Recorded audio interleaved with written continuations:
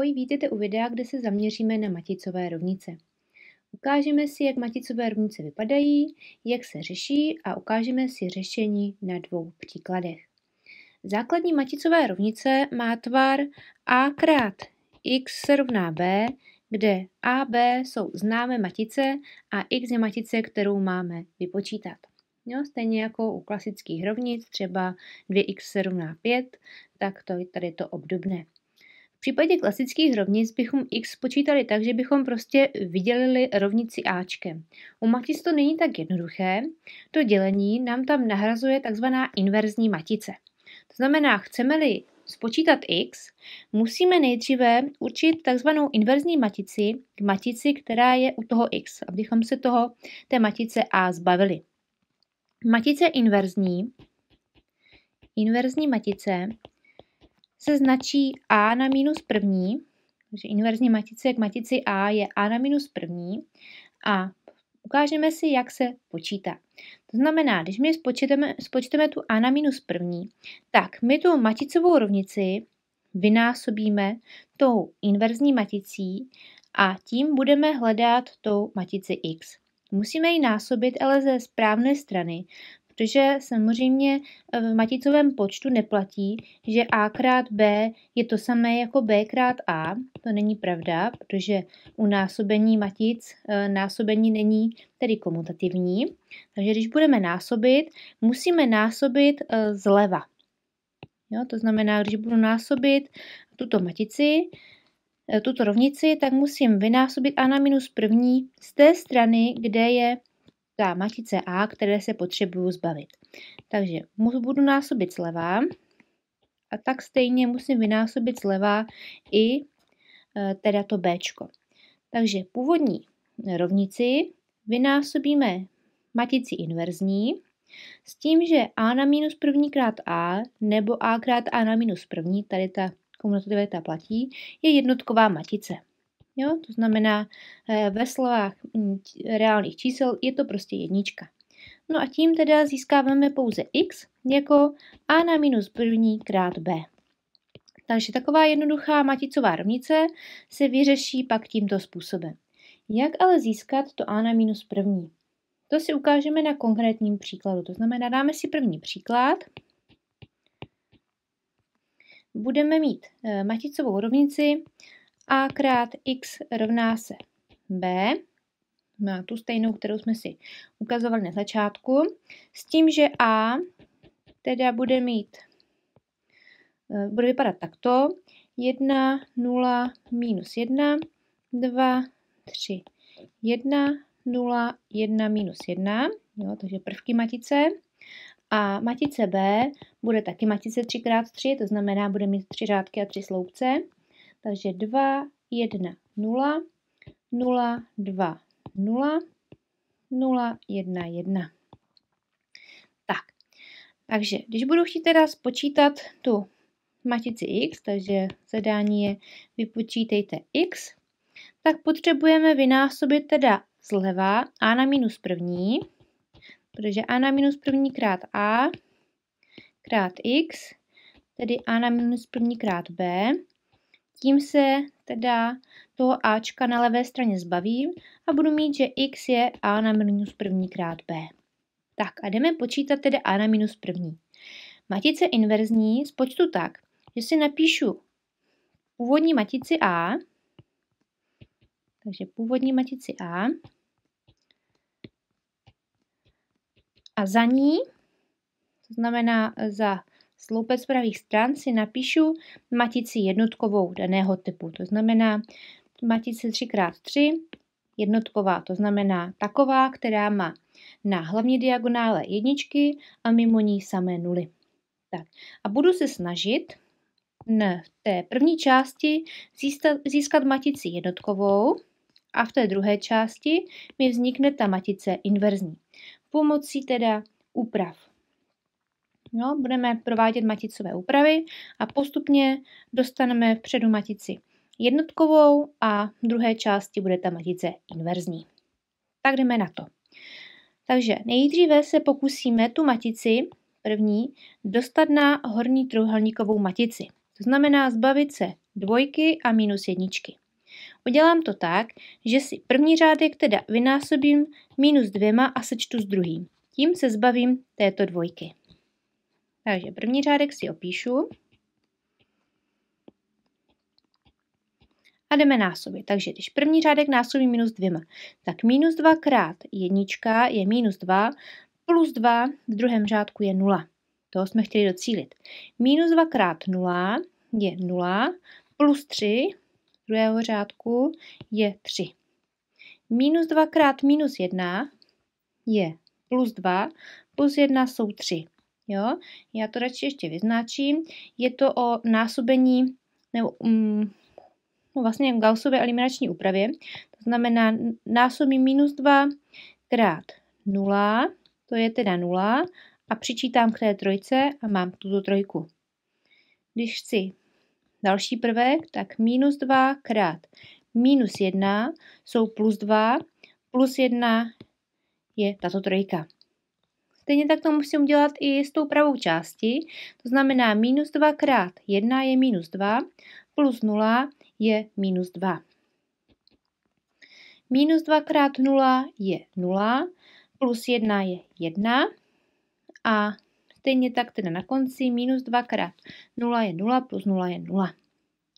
Tak, poslední řádek si zatím opíšu. Tam už totiž v prvním sloupci nulu máme. A jdeme upravovat dále. Tak, potřebujeme se zbavit ještě této jedničky, abychom měli teda horní trouhelníkovou matici. Tak, budeme pracovat eh, s, druho, s druhým sloupcem, protože ta jednička je v druhém sloupci, takže použijeme druhý řádek. To znamená, první oba dva si opíšu, první i druhý řádek si opíšu.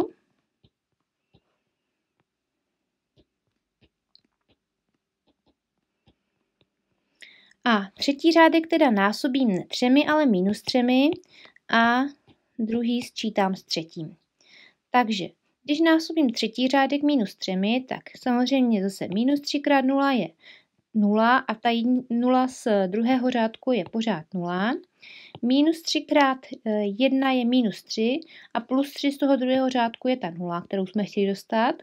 Minus 3 krát minus 1 jsou 3, plus 3 z druhého řádku je 6, 3 plus 3 je 6. Minus 3 krát 0 je 0 a plus minus 2 je minus 2. Minus 3 krát 0 je pořád 0, plus 1 je 1 a minus 3 krát 1 je minus 3 plus 0 je minus 3. Tak, máme horní trojuhelníkovou matici, potřebujeme dál eh, teda eh, zbavit se ještě prvku mimo diagonálu, to znamená, budeme se zbavovat ještě vlastně těchto čísel, to je té uh, trojky a minus jedničky. Takže já si teda první řádek vynásobím šesti a sečtu s posledním a druhý si vynásobím minus dvěma a samozřejmě sečtu. Jo? Znamená, opíšu si jenom ten třetí řádek a budu najednou upravovat první a druhý. Takže eh, ještě jednou druhý řádek násobím minus dvěma, takže 0 a minus 2 krát 0 je 0. Když násobím eh, druhý řádek, teda minus dvěma, tak má minus 2 krát 3 je minus 6, plus 0 z toho třetí řádku je minus 6. Minus 2 krát 3 je minus 6, plus 6 z toho, z toho třetího řádku je 0, jak jsme chtěli. Samozřejmě musíme upravit i tu pravou stranu, takže minus 2 krát minus 2 jsou 4 a minus 2 z toho třetího řádku jsou 2. Minus 2 krát 1 jsou minus 2, plus 1 z toho předchozího, z toho třetího řádku je minus 1 a e, poslední člen je 0, minus 3 je minus 3. Jo? Takže máme teda upravený druhý řádek, ještě první řádek, který násobíme tedy 6. Takže 6 krát 1 6 plus 0 je 6. Potom máme 6 krát 0 je 0 plus 0 je 0. Minus 6 plus 6 je 0. A 6 krát 1 je 6, minus 2 je 4. Dále máme 0 plus 1 je 1 a 0 minus 3 jsou minus 3. Tak, poslední krok je teda dostat na diagonále jedničky, abychom měli matici jednotkovou. To znamená vlastně vydělit 6 ve všech případech v druhém řádku minus 6. Jo, takže když vydělím první řádek minus 6, tak budu mít 4 šestiny neboli 2 třetiny, 1 šestina, minus 3 šestiny neboli minus 1 polovina. Tady dělím minus šestkou, takže minus 1 třetina, 1 šestina a 1 polovina. No a v posledním řádku zase 6, takže minus 1 třetina, plus 1 šestina a minus 1 polovina. Tak, toto, co nám tady vzniklo v té druhé části, ještě jednou, je matice inverzní a na minus první. A můžeme si samozřejmě zkontrolovat, že a krát a na minus první je opravdu jednotková matice. Je to zkouška, abychom měli jistotu, že to máme správně. Tak můžete vyzkoušet, jestli opravdu nám vyšlo správně ta matice inverzní. A pokud ano, pokud nám vyjde výsledek jednotková matice, je to v pořádku a můžeme samozřejmě pokračovat dál, nebo pokud nám zbyde čas, můžeme se k tomu vrátit. Tak, takže toto je teda zatím matice inverzní a podíváme se na řešení teda ještě té uh, rovnice, kterou jsme teda ještě nedořešili, protože ještě mám chybí součin dopočítat teda x, což je teda a na minus první krát b, Jo, takže ještě dopočítat a na minus první krát b, abychom získali x. Takže x je teda a na minus první, to jsou ty dvě třetiny, jedna šestina minus jedna polovina, minus jedna třetina, jedna šestina, jedna polovina a minus jedna třetina, 1 šestina minus 1 polovina krát, teda ta matice b, což je 2, 1, 0, 0, 2, 0, 0, 1, 1. No, takže teďka teda jenom vynásobit, to znamená, když si spočítat teda první člen, to znamená číslo v prvním řádku a v prvním sloupci, že jo, to je teda opakování násobení dvou matic, tak musím teda vynásobit hm, první řádek s prvním sloupcem. Jo? Takže prvek pozici 1, 1, vezmu první řádek a první sloupec. Takže násobíme. Dvě třetiny krát dvě jsou čtyři třetiny, 1 šestina krát 0 je 0, takže má 4, 4 třetiny plus 0 a minus 1 polovina krát 0 je 0. Takže to máme plus 4 třetiny. Když si pozici teda prvek, který je teda v prvním řádku a druhém sloupci, no tak musím použít první řádek a druhý sloupec. Takže násobíme 2 třetiny krát 1 jsou 2 třetiny, plus dvě šestiny, to znamená jedna třetina, takže dvě třetiny plus jedna třetina jsou tři třetiny a minus jedna polovina, takže jedna minus jedna polovina je jedna polovina. A když si teda prvek, který je v prvním řádku a třetím sloupci, tak použiju první řádek a třetí sloupec. Takže dvě třetiny krát 0 je 0, plus jedna šestina krát 0 je taky 0 a minus jedna polovina krát jedna minus jedna polovina. Tak, obdobně spočteme dalších šest prvků, to znamená prvek v druhém řádku a prvním sloupci, takže použiju druhý řádek a první sloupec. Takže minus jedna třetina krát 2 jsou minus dvě třetiny, zbytek bude nula, takže minus dvě třetiny. No, malinko jsem to teda zrychlila, můžete zkontrolovat. Další prvek teda bude eh, minus jedna třetina plus jedna třetina to je nula a plus jedna polovina. No a poslední budou, první dva členy jsou nula, takže poslední je jedna polovina. Tak. A pak tu máme ještě poslední řádek, to znamená třetí řádek, první sloupec, bude první prvek, to jsou minus dvě třetiny, a ostatní části jsou nula. A potom tady máme minus jedna třetina, plus jedna třetina, to je nula, a potom minus jedna polovina. No a poslední člen bude taky pouze minus jedna polovina. Tak a tím jsme teda získali x. A tímto je teda rovnice vyřešena. Když se podíváme zpětně teda, co všechno musíme zvládnout při řešení rovnic, tak vlastně musíme být schopni upravit si tu maticovou rovnici tak, abychom s ní mohli dále pracovat, určit si inverzní matici, potom matice vynásobit a tím teda získáme tu výslednou matici. Jo? Není to tak jednoduché jako při řešení obyčejných eh, třeba lineárních rovnic, prostě musíme u toho více makat a trvá to samozřejmě trošku déle.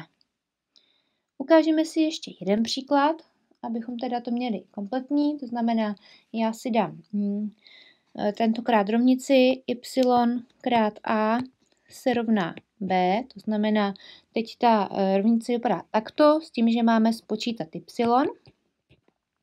No a víme, že matice a má eh, teda následující tvar a je teda 1, 2, minus 1, 2, 3, 3, 1, 2, minus 1. No a matice B má tvar 3, mi, 3 2, minus 1, minus 2, 0, 1, minus 1, 0, 1. Tak, tohle jsou teda naše matice a máme spočítat y. Tento takrát ta rovnice vypadá trošku jinak, ale vůbec se toho nemusíme bát. My se potřebujeme zbavit toho ačka, abychom spočetli y. Takže tentokrát nebudeme násobit zleva, ale zprava. Musíme zprava vynásobit a na minus první, abychom získali teda na levé straně matici jednotkovou. To znamená stejně tak. Musíme vynásobit zprava i na pravé straně jo, protože ještě jednou to násobení není komutativní. Potom teda y bude b krát a na minus první. Takže toto budeme posléze počítat, až si spočteme teda a na minus první. Takže jdeme na a na minus první. Takže 1, 2, minus 1, 2, 3, 3, 1, 2, minus 1 a za to teda matici jednotkovou. Zase budeme upravovat tak dlouho, dokud první matice nebude jednotková a na druhém místě nám vznikne ta matice inverzní. Tak, takže první úprava bude vynásobení teda prvního řádku minus dvěma a sečteme teda s druhým a zároveň teda vynásobíme první řádek minus jedničkou a sečteme ho s druhým. Takže 1, 2, minus 2, 1, 0, 0 a násobím si první řádek minus 2. Minus 2 plus 2 jsou 0, minus 4 plus 3 je minus 1. Já už si násobím rovnou, už tam to neříkám, že minus 2 krát 2 jsou minus 4 plus 3 je minus 1. Rovnou si to vynásobím a jenom sečtu. Takže 4 plus 3 je 7, minus 2 plus 0 je minus 2. Potom tady mám 1 a 0. No, takže to by měl být druhý řádek. Potom vynásobím teda minus jedničkou ten první řádek a sčítám s třetím.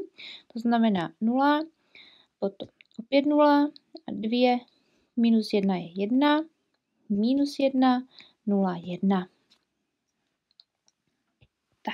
Máme teda první úpravy, máme dokonce horní trojuhelníkovou matici. Potřebujeme se zbavit teďka teda dalších členů. Je vhodný se nejdříve teda zbavit této dvojky, jo, aby se nám to pak už tam víc nerušilo, takže když pracuji s druhým sloupcem, potřebuju druhý řádek, takže já si vynásobím dvěma, teda druhý řádek a sečtu ho teda s prvním. Takže třetí řádek si opíšu. Budu mít teda, opíšu si i druhý řádek, ten si budu násobit jenom v hlavě a sčítat s prvním. Takže um, 0 plus 1 minus 2 plus 2 je 0, 14 minus 2 je 12, minus 4 plus 1 je minus 3 a 2 0. Tak, tohle by měla být teda úprava uh, teda po, po tom, co jsme se zbavili té nuly, jdeme se zbavit ještě těch čísel té sedmičky a té dvanáctky. Takže zase třetí řádek si opíšu.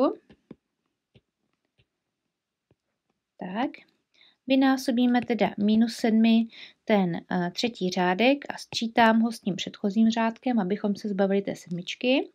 Takže 0, minus 1, minus 7 plus 7 je 0, 7 minus 2 eh, je 5, potom 1 a minus 7.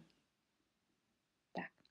Teďka násobíme teda minus 12, abychom se zbavili té plus 12, znamená 1, 0, jo, třetí řádek násobí minus 12, minus 12 plus 12 je 0, 12 minus 3 je 9, tady máme 0 plus 2 je 2 a minus 12. Tak, poslední krok, abychom získali teda uh, na první pozici matici jednotkovou, je vynásobit minus jedničkou druhý řádek, protože na ostatních pozicích té diagonály už máme jedničky, takže akorát vynásobím druhý řádek minus jedničkou, na pravé straně tedy bude minus 5, minus 1 plus 7, 1, no minus 1, 0, 1. Takže toto je a na minus první. Zase můžeme ověřit zkouškou, pokud eh, bude čas. Samozřejmě můžete zkontrolovat, že opravdu a krát a na minus první je matice jednotková. Jo? To znamená, eh, můžete zkusit zjistit, jestli ten výpočet je správný. Dělat tou zkoušku. No a poslední krok je teda spočítat si to y pomocí e, té rovnice, kterou jsme si výše vyjádřili. Já ji tady mám označenou zeleně, že y je tedy b krát a na minus první. To znamená, znova si připomeňme, jaké má souřadnice b. Já to tady mám. 3, 2 minus 1. Tady budu trošku přerolovávat. 3, 2 minus 1 teďka krát, eh, no krát, minus 2, 0, 1, minus 2, 0, 1 a poslední řádek je minus 1, 0, 1. Minus 1, 0, 1. Tak a vynásobíme to teda tou a na minus první. To znamená 9, 2, minus 12, minus 5, minus 1, 7, minus 1, 0, 1. Jo, opravdu to musí být z té strany, nesmíme to přehodit, jinak samozřejmě spočítám něco jiného. To znamená, opravdu tam musí být b krát a na minus první, tak, jak jsme si to vyjádřili. Tak. A poslední krok teda vynásobit.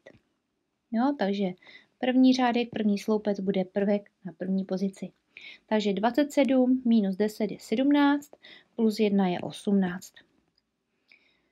Potom 6 minus 2 jsou 4 a 0, takže 4.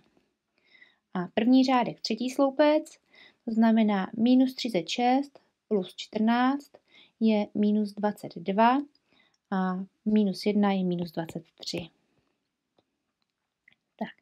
Druhý řádek, první sloupec, minus 18 a minus 1 je minus 19. Druhý řádek, druhý sloupec, minus 4 a to je všecko. A druhý řádek, třetí sloupec je 24 a plus 1 je 25. A poslední řádek je minus 9, minus 1 je minus 10. A minus 2, to je všechno, protože ostatní součiny jsou 0. 12 plus 1 je 13. Takže toto je teda y. A samozřejmě zase, kdybychom chtěli, tak můžeme dělat i zkoušku takovou, že teda si dosadím úplně do zadání. To znamená, vezmu to y, které mi opravdu vyšlo a zjistím, zda teda platí tato rovnice. Jo? Jestli y krát a je opravdu to b, které mi vyšlo. U těch rovnic eh, klasických nebo maticových můžu vždycky udělat zkoušku a zkontrolovat, jestli můj výpočet byl opravdu správný. Tak, takže tohleto pro úvod na baticové rovnice si myslím, že stačí. Eh, pokud budete mít nějaké dotazy, pište do komentářů. Pokud se vám video líbilo, určitě dejte like, po případě odběr, či můžete dále sdílet. Po případě můžete podpořit naši YouTube tvorbu a já se na vás budu těšit.